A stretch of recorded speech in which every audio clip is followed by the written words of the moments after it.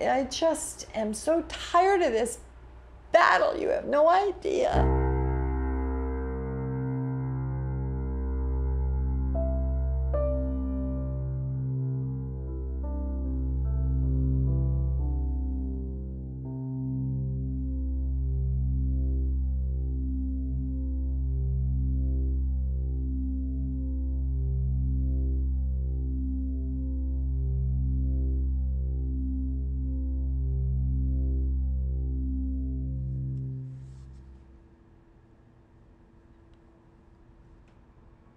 Well, it's interesting how BSL was introduced in Ontario because it was introduced by the Liberal majority government. Michael Bryant was the Attorney General, and it was a reaction to a, a you know a few really high-profile and um, and quite scary dog attacks uh, on individuals. There wasn't a lot of science behind it. There wasn't a lot of real investigation behind it. It was kind of knee-jerk response to, oh, we got to do something. Here's what we'll do if you had a so-called pit bull type dog in Ontario in 2005, you had to spay or neuter it, um, and it was grandfathered in.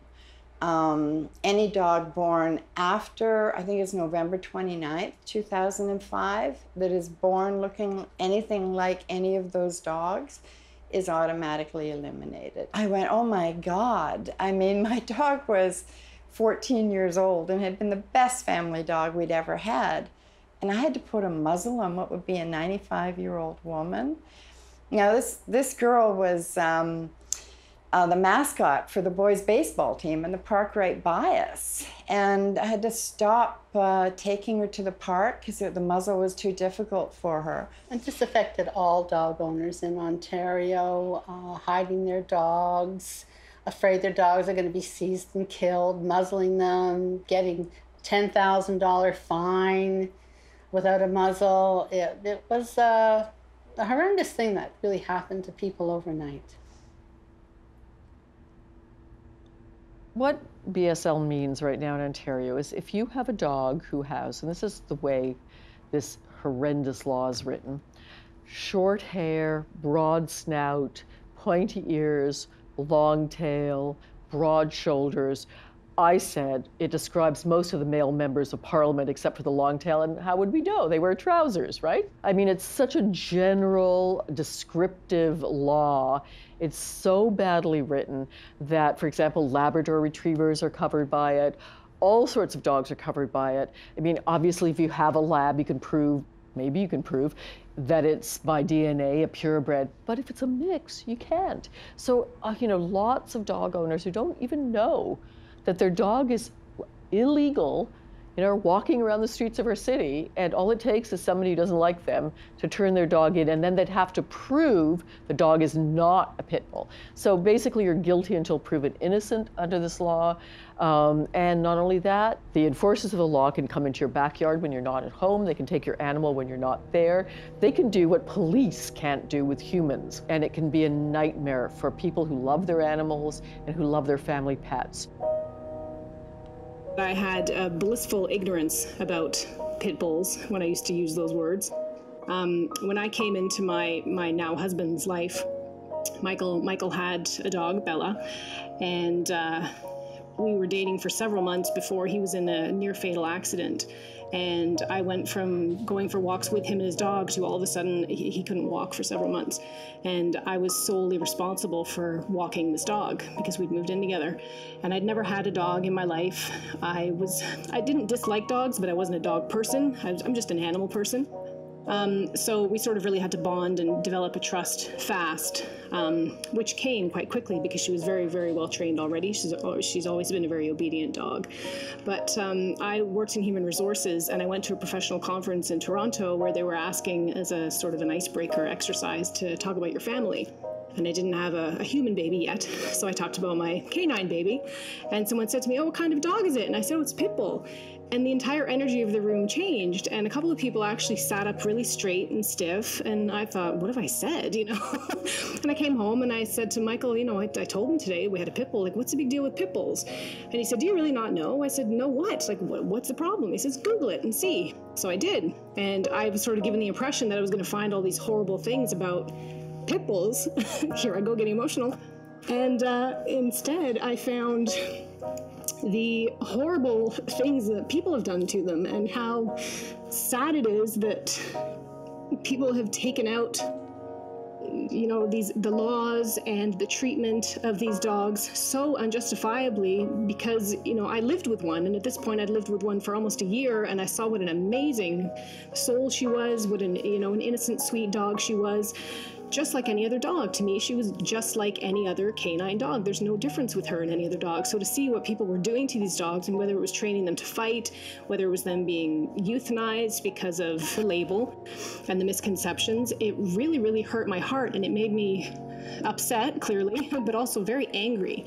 And I thought, what the hell is wrong with people? Like, what are we doing to these dogs? And that is literally what inspired me into activism.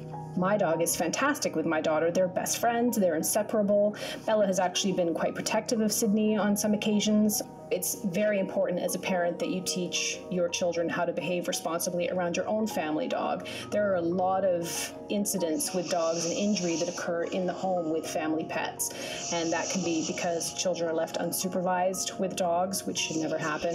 It can be um, because children are initiating behaviors that they have never been told are not okay, whether it's tugging on a dog's ears or poking it in the eyes. I mean, you know, how much would anybody like that, right? Eventually, the dog possibly may react to that when our daughter was learning how to walk. we had to teach her to steer clear of Bella for a while because she was stumbling and falling down, and we didn't want her. We used to tell her, you know, don't go near our Bella's bed because she could easily just topple over and fall on top of her. now that did happen, and Bella didn't react, but you know that stemmed from us keeping an eye and, and realizing, you know, this is something that we have to keep an eye on and and make sure it doesn't happen. The ideal future for me is obviously that BSL is reversed. I always say that uh, my own sort of personal tagline is that while I may not see BSL repealed in Bella's lifetime, I sure as hell will see it repealed in my lifetime. And my, my perfect day always entails going Bella to the beach. She just loves being in the water. She loves swimming, and it's my absolute dream to just be able to drive her safely across the country out to BC and to let her just run in the ocean. And I really hope one day we can make that happen because she deserves it.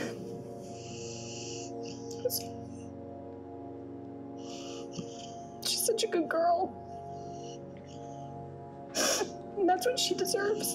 As a dog, as a good dog. It doesn't matter what she looks like. Right? A pit bull is, a, is an umbrella term for a group of dogs. Uh, in Ontario, it includes the American Pit Bull Terrier, the Staffordshire Bull Terrier, and the American Staffordshire Bull Terrier. It also includes any dog with characteristics similar to any of those dogs. So it casts um, a wide web regarding uh, our canine friends. If a dog isn't a purebred dog, it's a mixed dog. And they call almost every short haired, medium sized dog a pit bull. Even the professionals say that they get it wrong 75% of the time when DNA is compared to what they thought it was. The words pit bull, these days I try not to use them anymore. When I first started out, um, it was definitely a learning process for me to learn the damage that those words do. Those words I cannot express enough literally cost dogs their lives, particularly in shelters. There's a huge misconception and public fear with the term for those who are not better informed. Um, my message to people all the time is not to use the words because all dogs are such individuals. I mean, any dog um, is capable of attacking somebody and hurting someone, from a Chihuahua to a, a, Mastiff. Obviously, the bigger the dog, the more damage they can do, but every dog is capable of this. Well, a lot of it has to do with the owner. A dog's behavior is what they're trained to do or trained not to do.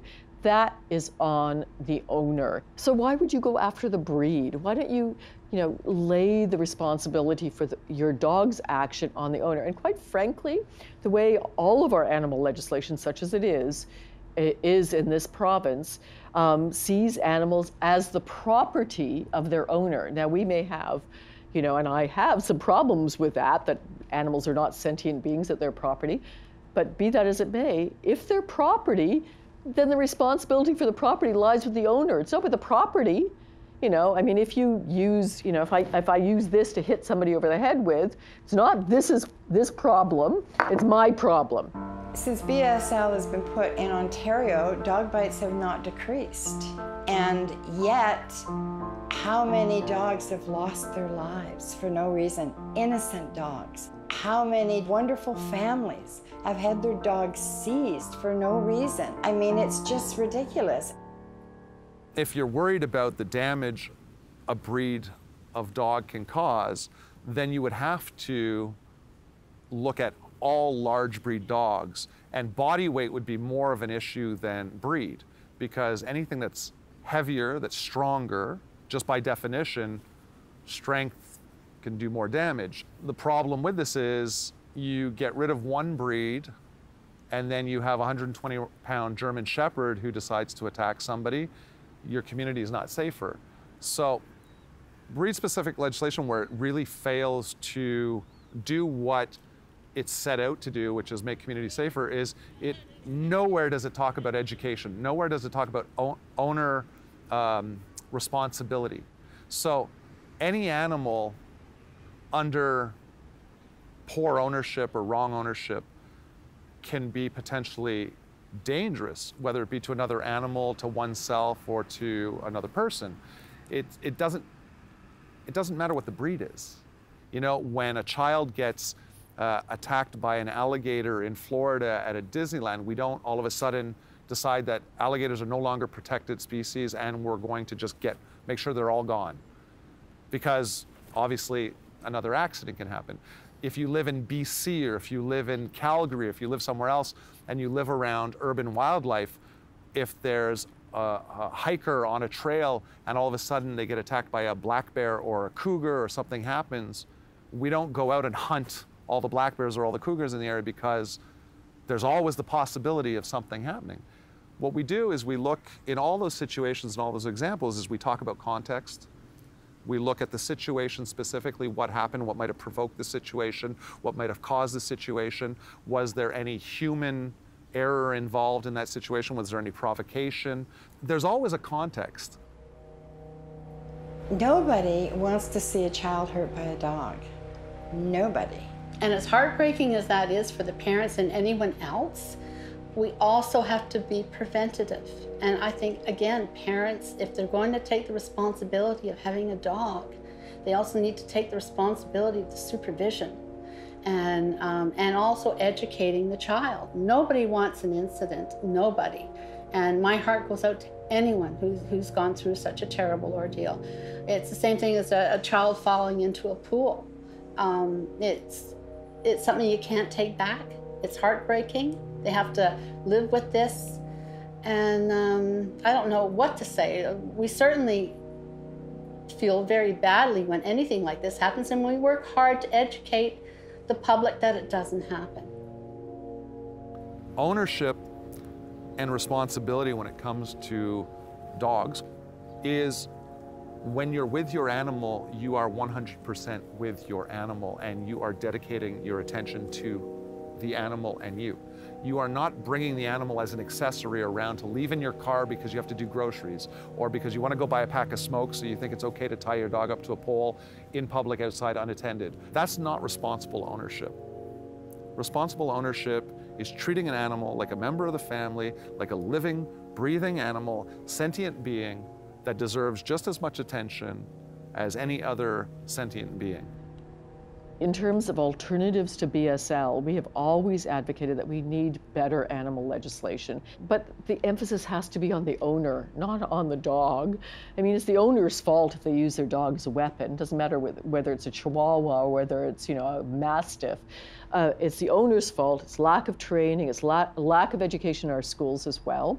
Um, Calgary is kind of the gold standard in Canada for how to do it well. And what do they do there? They have huge fines for bad owners. Um, they have education programs in the schools where children understand and are, are taught you know, how do you approach a strange dog? Do you just walk up to a, a dog willy-nilly? You pull a dog's tail? You know, all of this is necessary to prevent attacks, especially upon children who are the most vulnerable. And we need to realize that dogs aren't the problem, humans are.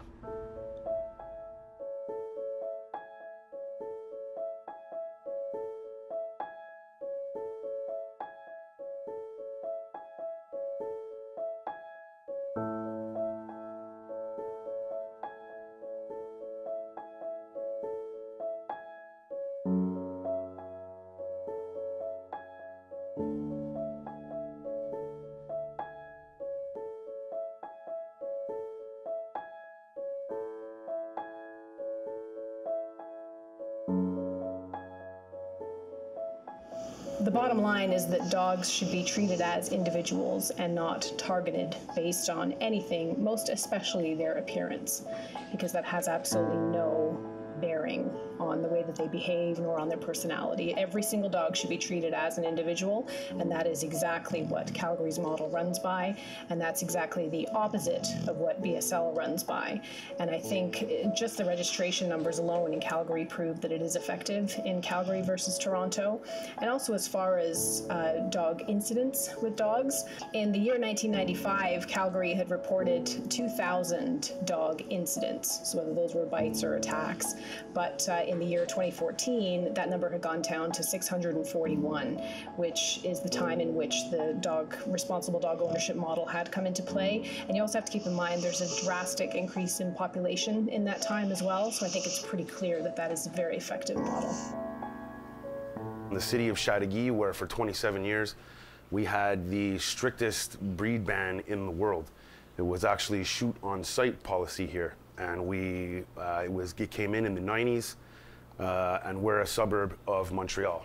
One day I'm standing outside of a corner store when uh, waiting for uh, my family to come back out. I'm standing outside waiting uh, with the dog, and uh, all of a sudden a police officer came up and says, well, you have seven days to get rid of your dog, and really I'm doing you a favor because I could shoot the dog right now. At the time, Murphy was 10 years old and he always lived at the same address. Uh, never a complaint from neighbors or anything like that. Uh, finally, the police officer left, and immediately I began the Pit Bull Association of Chateauguay because I knew that Murphy was not alone in Chateauguay. There was, there was other families in the same situation. Right away, uh, the pack started uh, uh, collecting stories of things that happened in Chateauguay, like atrocious stories, like like dogs being shot in front of entire families. And that's that's that's a big part of it. A lot of people like look at this issue that don't know much about it and they think this is about dogs. But really it's about families. One of the first myths that a lot of people still believe is that is that pit bulls have locking jaws. It makes absolutely no sense to believe that any any dog has a has a jaw that locks at what at here or here or here. Like where does it lock? It makes no sense. Another myth is that their jaws are stronger than any other dog. A pit bull has no more of a powerful jaw than any other dog his size. You know they have a big beautiful smile but their jaws are no more powerful than any other dogs. And as a matter of fact, they lost to the German Shepherd and the and the Rottie in in that test. So another myth is that they they have um, aggression bred into them somehow. These dogs, and when when breeders talk about that a dog was bred for this purpose or that purpose, they're not talking about the dog's brain. They're talking about the physical attributes which lend to that dog performing a certain function. That's it the tendencies of the dog have nothing to do with breed. The dogs are all individuals. You can you can breed two of the most aggressive dogs and they'll all have like super sweet puppies, you know. There was an extremely tragic incident that took place a couple of years ago where a woman lost her life due to a dog attack that happened. What people neglected to discuss at the time before making these decisions were the factors and the context again around what happened. Not long ago, the coroner released a report uh, and uh, their assessments of what happened in the, uh, the case of this, this woman. The conclusions in this coroner's report are that breed was not the factor in this accident that happened. What was a factor was the dog's behavior, which was a result of negligence by the owner over a long period of time. And another more important factor that comes out in this report is that this was preventable. This accident should have never happened. This woman should be alive today and should not have ever lost her life due to this, this, this situation. And the reason I say that is because this animal had been involved in numerous bitings. Specifically, the second time it had bit, it had sent somebody to the hospital with a fractured arm and severe lacerations, and another person with a bite to the, to the leg. The police came, they intervened. There were hospital reports. The city intervened, but there was no follow up. Had the city sent an inspector to seize the animal, make sure it goes to an evaluation with animal experts, they would have caught this problem before it ever became a danger publicly. In my opinion, the only reason that this ever happened in Montreal and while we're talking about BSL is because the city neglected to enforce a bylaw at the time that was in place that enabled us and permitted us to intervene to protect the public, to make sure that we have a safe community. And because the city neglected to do their work, it resulted in someone's death and it resulted in panic policymaking by the current administration of the city and the mayor of the city.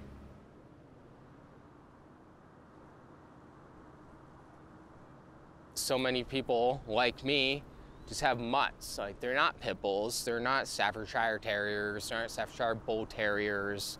Found them on the street. They're mutts. They have some bully breed. It could be Bull Mastiff, it could be Bull Terrier, it could be any number of dogs. It could be no bully breeds and just the combination of genetics makes them look this way. So they set up these ID clinics. They had absolutely no idea what they were doing at all. Um, at the first ones my friends went to, when they asked like what characteristics they were looking at or what they were measuring, they said it was like a ongoing list in development, so they were making it up as they went along. So the city expert and their independent consultant, who's also supposed to be a dog expert, both said that they can't ID breeds off looks. And that's exactly what they were there to do. The day they announced BSL in Montreal was the worst day of my life. I was convinced I was losing my puppy. I started having anxiety attacks every morning, every night. About um, seven years ago, I was diagnosed with uh, anxiety and depression. Uh, made me stop working. Um, really, I felt like my world was ending. And then I met Boomer. We went and we rescued Boomer and brought him home. And ever since anxiety calmed down, my depression's a lot better. The guy saved my life, basically. My financial situation right now is what you call above poverty line. Um, I'm not working right now. I am on welfare. It's something that I'm working on. Uh, my anxiety keeps me at home, and Boomer keeps me sane. So we're working on it, and as long as I can keep Boomer, basically, it's going to be a, it's going to be a good road. The day after they decided to have BSL in Montreal, um, we went to the city hall here in Ville-LaSalle and we got our first fee. It's $150. That's just to start your demand. You don't get a reimbursement if they decide to not give it to you. You lost your $150. Then you had to get him neutered. Then I had to get him vaccinations. Some of it is normal, but in one month like that, to, to, to just look into somebody's pocket and expect $1,000, I couldn't do it. I couldn't do it. So it was uh, very stressful for everybody.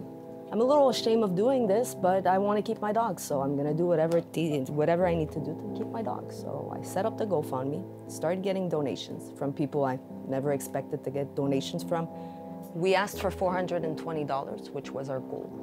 Uh, it wasn't gonna cover everything, but I didn't want to ask for too much money either. Uh, we collected $315 out of 420 in about 40 hours, which was incredible. It helped us pay for the $150 to start everything with Boomer. Then we got um, the appointment at the, the SPCA, the, the, the vet clinic, uh, was about two weeks after that, so it was another $200. I didn't have that money, and um, thank God, like GoFundMe, everybody helped out. Uh, so I was able to keep Boomer. Since BSL is in, is in state here, basically, um, going for a walk, just going for a walk with Boomer's help. Wake up in the morning, you know, the, the puppy shuffle when they have to go, you know, right now. Well, there's no more right now. Now you gotta put the harness, then you gotta put the muzzle.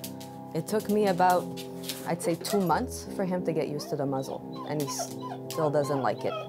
He really still doesn't like the muzzle. He, I don't think he'll ever get used to it. During the day, I go outside in the backyard where he needs his muzzle because my fence is not big enough. So there's no playing for him. Always the muzzle. Um, it's not fair. It's not fair for us. It's not fair for the dogs. Um, I want to play with my dog. I don't get to play with Boomer anymore. Uh, he used to love to play ball. Now he has a muzzle. It's no fun for him. It's no fun for me either, you know? But that's the stigma of the pit bull. That's what we're trying to change, right?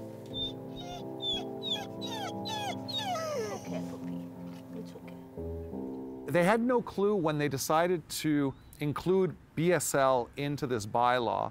They had no clue about any of the work that had been done or any of the statistics or information that had been gathered over the last 20 years in places where BSL was already enacted and had been proven completely ineffective. If the city really had no clue before doing this and refuse to listen to experts or refuse to look at reports or statistics that clearly identify the errors in BSL, then ultimately this city has not done anything to make our communities safer.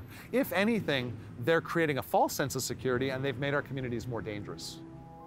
We've got the Montreal election coming up, and that is our best hope right now to get rid of uh, uh, breed-specific legislation because it is the Coderre administration that is, has enacted it in Montreal without consulting any experts or considering what people protesting outside are saying. His decision to do that has affected animal welfare all over the province. And now we have Bill 128, a provincial bill, to ban these dogs coming in. And we believe that if this, if he wins this election and stays in, it, it'll it'll look to the Quebec government like the like the population is for BSL. The other option is Valerie Plante.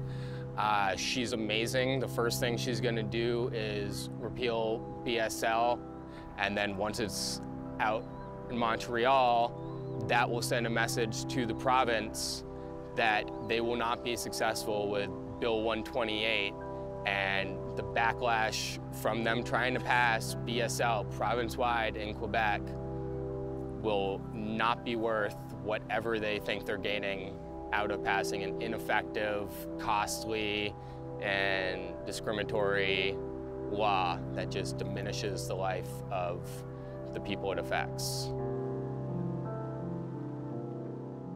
It all started from a complaint that was put in the city and uh, the police officers saying that I was my dogs were nuisance and uh, the cops came over to advise me that uh, there was a complaint and that I had seven days to get rid of my dogs because I have six dogs at home. And I could tell you that most of the neighbors did not even know I had six dogs. That's how quiet they were. I mean, dogs bark once in a while. But no one knew I had six dogs. And um, he told me I had seven days to get rid of my dogs because I was illegal. And I told him I wouldn't accept it. He wanted to come into the house and I didn't want to. So it started off pretty bad. And after that, well, uh, we went out for a walk one night because we walk, we used to walk every night with the dogs, three times a day, in the morning, in the afternoon, and at night so he could be able to relax because Marc-André is autistic, uh, doesn't talk very much, and is pretty afraid of a lot of things. But the dogs reassure him. So, and it was, it helped us for him to sleep at night because Marc-André sleeps about three hours a night. So when we used to walk the dogs, it was uh, fantastic. But since we had that complaint and that officer that came over and gave me seven days to get rid of the dog, he started harassing us following us around and uh, one day he came up to us and we were walking and he told me that um, um, we had a type pit bull and told me that too was illegal and that he would shoot my dog. So he scared Marc-André, and I thought he wasn't serious at the beginning. You know, I said, okay, he just wants to show that he, you know, he has power over us. When he put his hand on the holster, uh, he started screaming because he knows what it, you know, he knows what a gun is, and he used to love the police, so he had a gun, he had the, the badge, he had everything. And when he I saw him put the hand on the holster. I said, whoa, you know, I said, uh, he's autistic. So I told him, uh, I told him he couldn't threaten us like that. And he, he came forward again. And that's when I picked up the dog and I put the dog between me and Marc-André. So Marc-André, like I was standing, I had the dog in the back and Marc-André was holding her. So we were able to walk. And so he couldn't shoot her, you know, because I wasn't sure if he was going to do it or not. So finally I walked off and he kept on talking to me, but we kept on walking. And I told him, You're scaring my son. I'm going back home. So we went back home. I got in the house. I cried and I cried and I was shaking. And he, he threw himself on the floor. And I had for four hours of him shaking and crying and screaming and wanting us to lock the doors. And he was afraid of the police. He didn't want to take the dogs out no more. So uh, it really, it was really um, stressful and very upsetting to see that you just walk around with a dog and the cop could come up and tell you he's going to shoot your dog because of the way he looks. For a week, I did not go out. Marc-André did not want to go for his walks. I didn't want to take a chance either. So after a week, I told Marc-André we have to go for the walk. So instead of going out with my tip, pit bull type dog, I, start, I went out with the labs because I have Labradors too.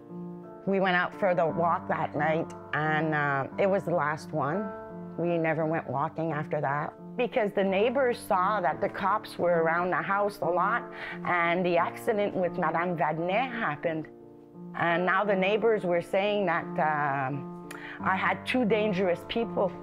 I had my dog that was a dangerous dog and my son because since my son is handicapped and he doesn't talk very well and he, he has sometimes, you know, the way he, he acts is different from other people, you know. So they started screaming things like that at us, that uh, I should have them both uh, put to sleep. We were thrown rocks. And um, he came home with a big uh, gash on his head because he got the rock on the head. And I was disgusted by that. And again, I cried, and he cried. And then he told me, he, told, he said to me, uh, I'm sad, mommy. And why don't they like my dog? And at the beginning, when I started living this with Marc-André, I thought I was alone. I mean, I was desperate. I was uh, sorry. I thought I'd lose the dogs and I thought I'd lose my son because if I didn't have my dogs, sorry. If I didn't have my dogs, I couldn't have kept my son because my dogs have a, a, a good bond with Marc-André. Uh, they take care of him. I haven't had to go to the hospital in four years because Marc-André used to hurt himself. And I told myself, I can't believe I'm the only one living this. And finally, someone I met told me, well, you know, there's a guy I heard about in Chateauguay that's going through the same thing you are. And the next day she called me saying, you, did you see in Le Soleil, they're having a protest at the city hall. You should go, go find out what you can do. And that's how I met Hugh. I went, I met Murphy the same time, and I've been fighting this with Hugh since, uh, I could say July 2015. And for Marc-André, Hugh is like, a superhero, you know? He knows that when we go see Hugh, it's because we're saving his dogs. One of the main things that we have to take into consideration is breed-specific legislation can affect any large breed type of dog.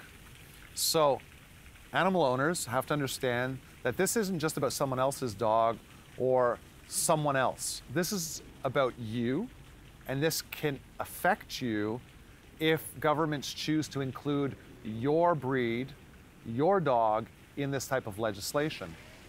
What our responsibility is, is to make sure that we share all the information with people and as much information as possible so that people can arrive at an educated conclusion on what the best measures would be to actually make communities safer, which don't include breed-specific legislation.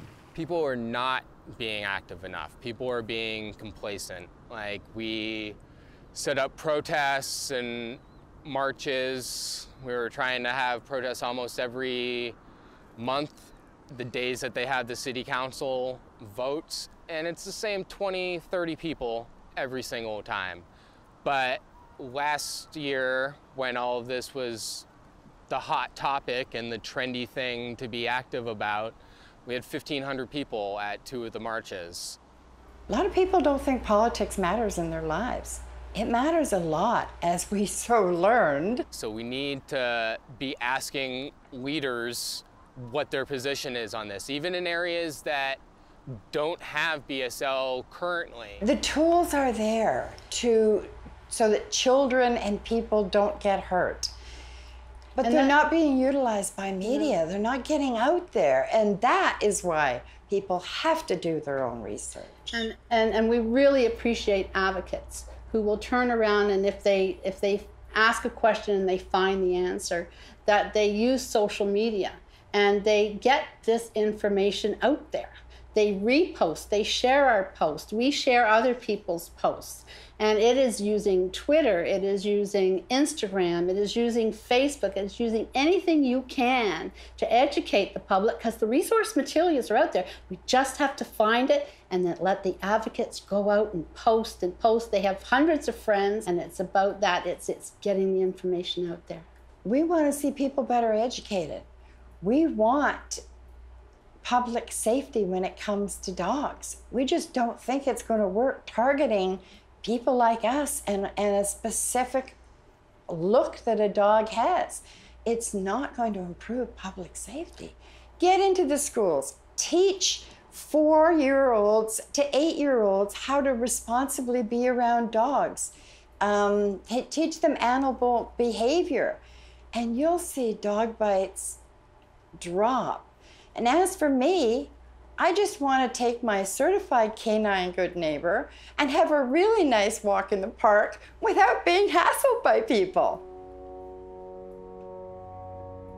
My community involvement over the last 11 years has been, you know, it's been such an honor and a privilege to, to represent folk um, both in Parkdale High Park but across Ontario on various issues. So I've passed more private members' bills than anybody in Ontario's history, done that by working with the other parties, and I've passed more LGBTQ legislation than anybody in Canada's history. You know, we've done a whole lot out of this office, and I'm so proud of that. So it's been a privilege, it's been a, a pleasure.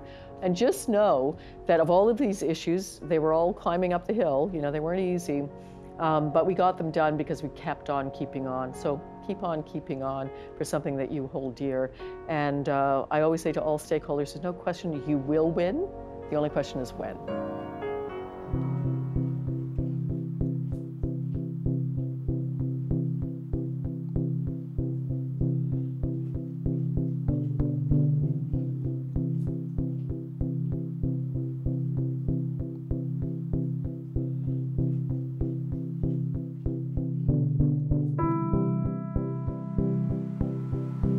BSL is bullshit. BSL is bullshit. BSL is absolute bullshit. BSL is bullshit. BSL is bullshit. BSL is bullshit. BSL is bullshit. BSL is bullshit. BSL is bullshit!